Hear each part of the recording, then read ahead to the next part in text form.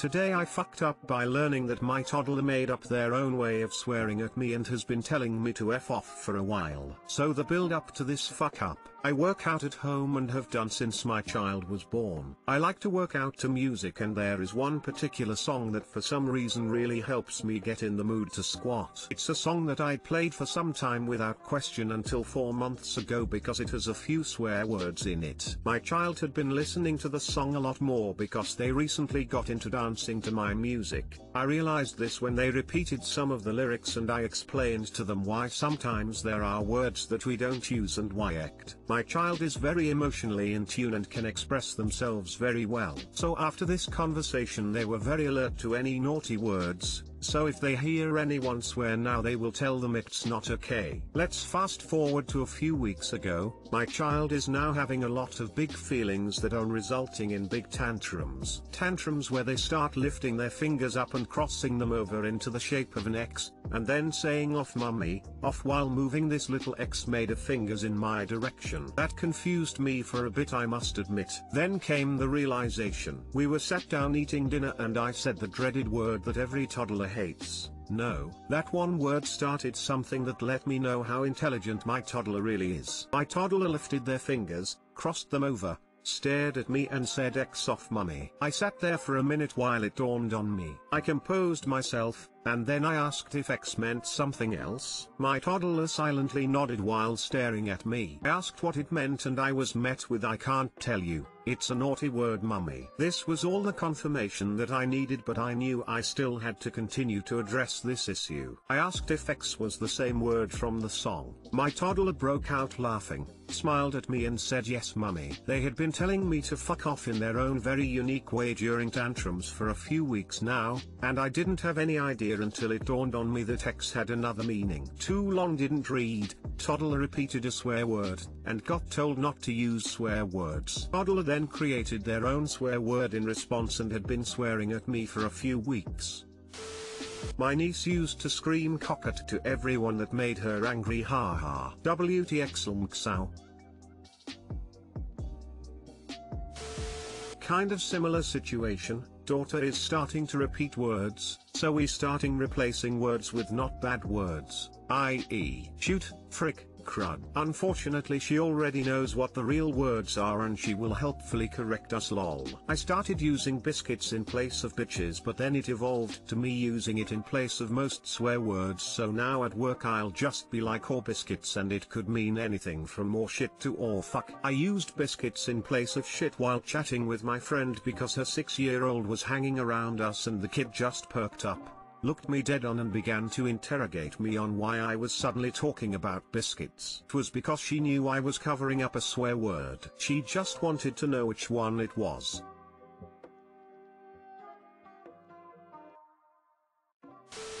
Mom is going to have to work at staying a step ahead of that one. Once my then 2 to 3 year old yelled at me you are a toy! Exclamation mark at the top of his lungs. He'd been watching Toy Story and to him, that was the worst insult ever. I had to turn around so he wouldn't see me laugh! Exclamation mark. Edit, holy cow this blew up while I was putting that same child to bed. However, he's now 11 and talks my ears off about Fortnite and Pokemon and Roblox. Tissue, smiley face, Today I fucked up, dismissing bright red blood in my stool for years. If you're currently experiencing this symptom please read. I experience, I've had small amounts of bright red blood on my stool for years. I had always dismissed this finding because I'm young with a horrible diet. I have always been taught that black stool is the worrisome stool, as that's indicative of upper gastrointestinal bleeding, whereas stool that has bright blood just indicates hemorrhoids. My logic for dismissing the bright blood on my stool, backslash I've had a diet consisting of high sugar plus high fat, processed foods with low fiber in addition to being very inactive causing constipation and straining, so, bleeding from straining just made sense. I'm 6 apostrophe 1 at 225. Backslash blood was not consistent it came and went. Backslash there was not a lot of blood and when there was it looked like skid marks on the stool, something I thought was obviously related to hemorrhoids. Backslash I'm young, 29. Backslash family history of hemorrhoids. so I thought me having hemorrhoids was just part of the family business. Backslash lack of education, especially knowledge relating to polyps, an abnormal tissue formation resembling a skin tag in the colon. Why I eventually met with a GI specialist. The blood in my stool became more of an everyday thing that lasted for a month. From my perspective, that frequency was abnormal. My GI doctor thought it was more than likely hemorrhoids, but still recommended a colonoscopy because no matter what, blood in stool, especially in young adults, is not normal should always be inspected. What was found from the colonoscopy, 20 mm polyp. To put in perspective, a 10 mm polyp is considered big.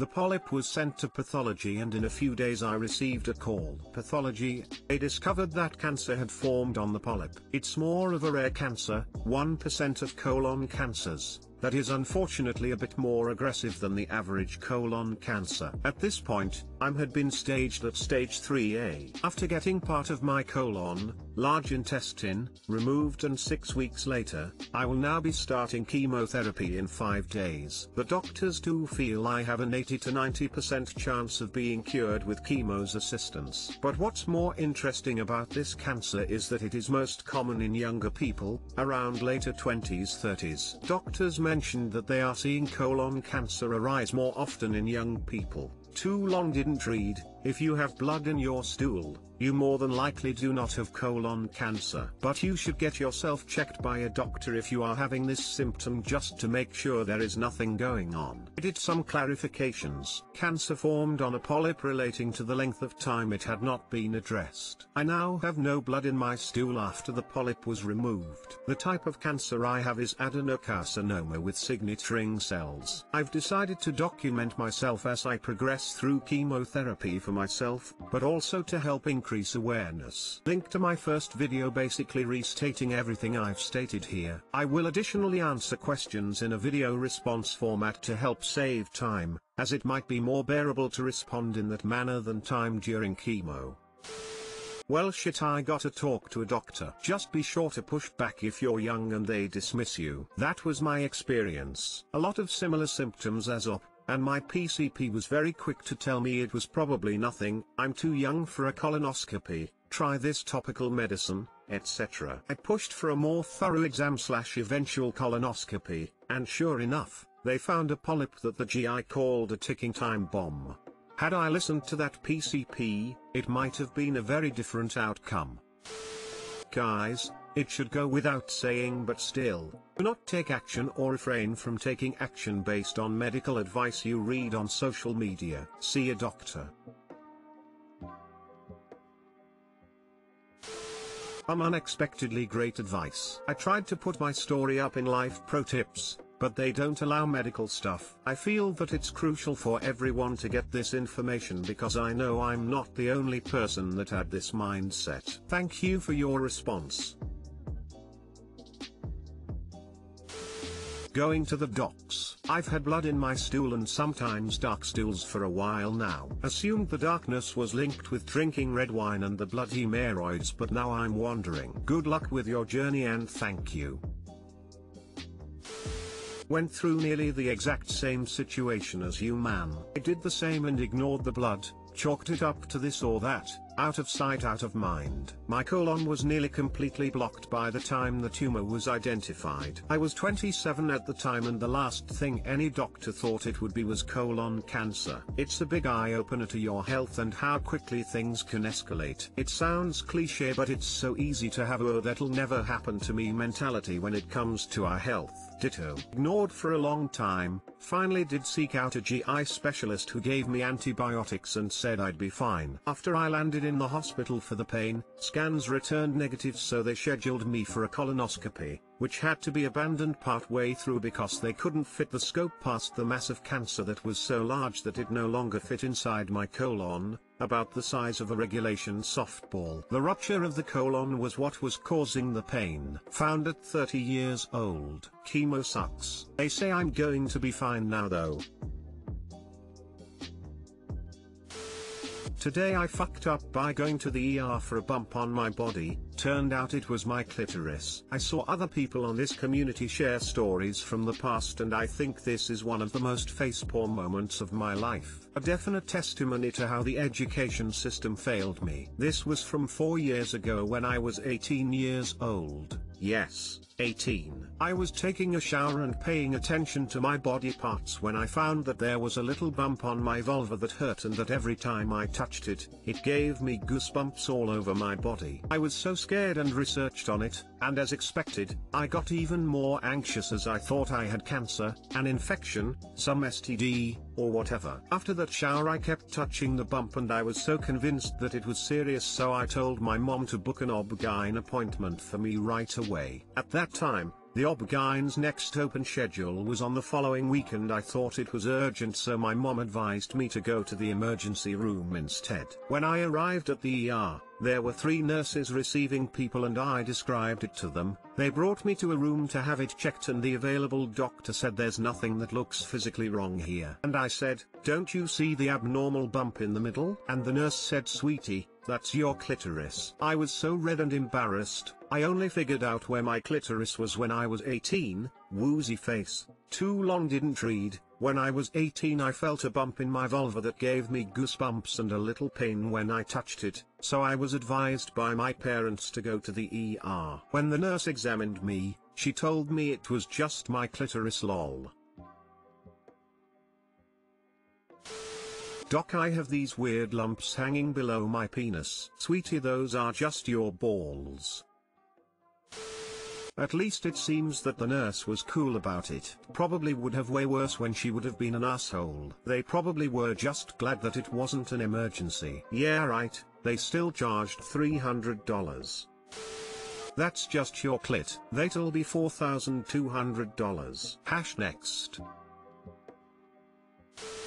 I had a girl arrive by ambulance because I was short of breath and my heart was racing and I couldn't see straight. The story was she was home alone with her boyfriend, and it just happened so she made him call 911. Everyone assumed drugs. Turns out after some prodding it was just her first orgasm and she thought she knew what an orgasm was until that night. That guy put a woman in the hospital with an orgasm mal.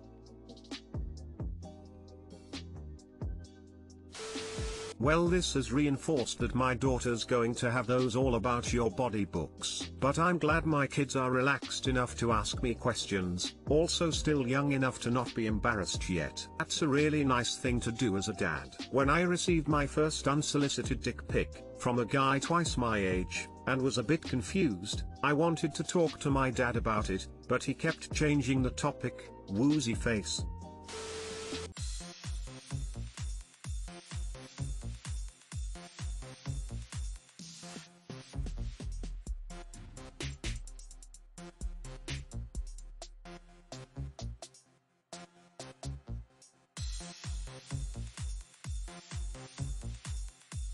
We'll be right back.